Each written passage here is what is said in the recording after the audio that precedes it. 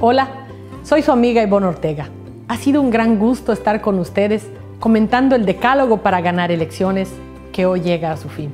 Estoy convencida que la política es la mejor manera de cambiar la realidad y lo he comprobado en cada proyecto en el que he estado. Por eso, el décimo punto es trabajar para cambiar vidas.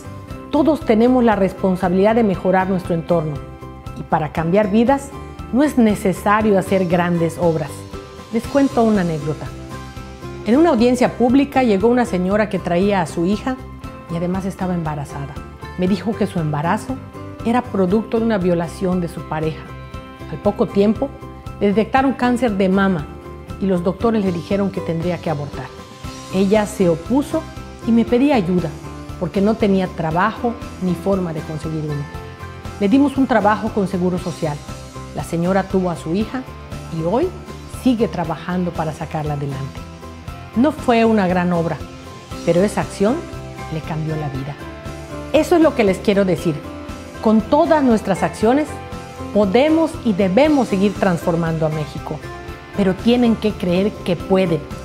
Tienen que asumirse como líderes. Les agradezco mucho por acompañarme a lo largo de la presentación del Decálogo. Espero que todas estas experiencias hayan sido de mucha utilidad me dio gusto leer todos los mensajes que estuvieron enviando. Los invito a que me sigan en mis redes sociales y suscríbanse a mi canal para seguir en contacto. Que tengan un gran día.